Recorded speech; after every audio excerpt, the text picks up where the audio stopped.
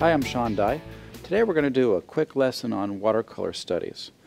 So I brought in a photo reference that I took in Abiquiu, New Mexico.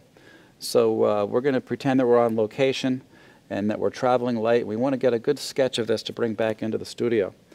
So uh, when I'm traveling, I like to have a nice compact folding palette. Um, so I have my colors set up in the palette, and I've got a handful of brushes here. Um, I've got a piece of, uh, a scrap of uh, watercolor paper, heavy watercolor paper here. And what I want to do is I want to get the basic impression of my scene, but I don't have to worry about being too, too detailed. One of the things about uh, doing your on-location studies is that you can capture things uh, sometimes very quickly that you can, uh, you can bring that sort of uh, quickness and enthusiasm into your, into your painting in the studio. What I'm going to do is I'm going to just sketch. This is a, a graphite pencil. I'm going to sketch out the basic composition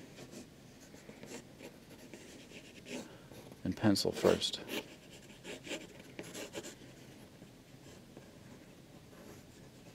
I'm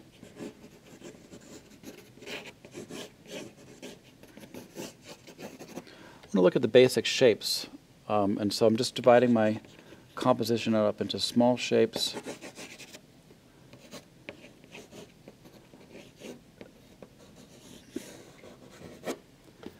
And then I'm going to take a half inch brush and start putting in some color. So the first thing I'm going to do is uh, look up at my sky and the water that's reflecting that sky color. I'm going to come in with some blue and a little bit of Payne's gray. And I'm going to have a piece of uh, paper towel handy in case I have any drips.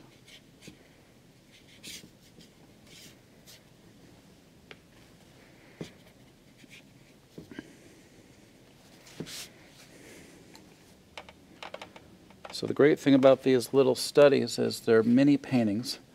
Uh, you don't have to worry about um, uh, too much if it's going to be a great success. It's a way of just sort of exploring the composition and planning for a larger painting.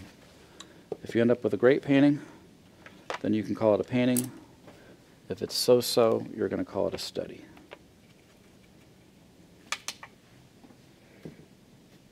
I'm going to use a combination of uh, Payne's Gray and a little bit of my raw sienna. I'm just going to sketch in some of the foliage here.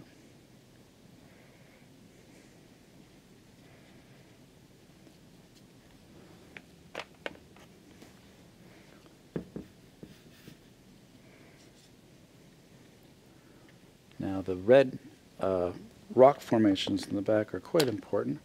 So we will get those and that there's a nice uh, contrast between the orangey colors and all the blue colors over here.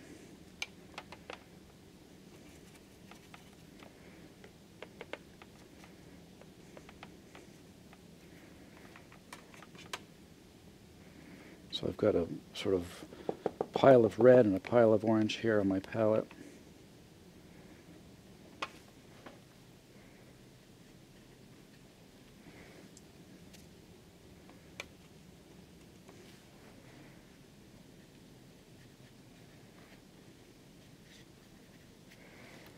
Got some sort of red violets in these bushes over here, so we'll use a little bit of the crimson and Payne's gray together to get those in.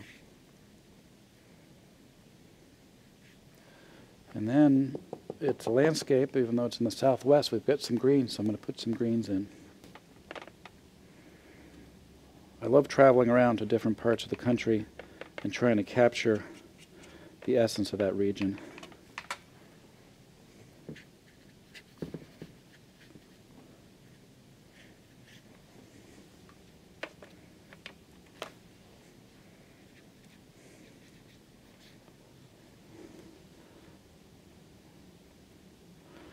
What you can do on your own is you can actually give yourself a limit of time that you're going to spend on your sketches.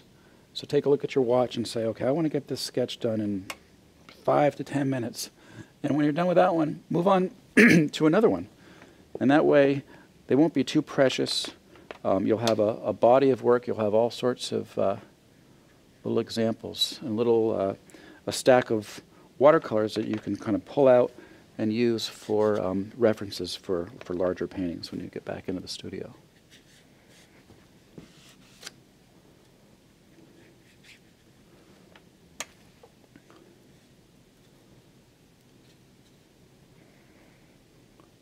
Now, I'm going to put a couple of shadows in that rock formation up there just to show a little bit of the structure.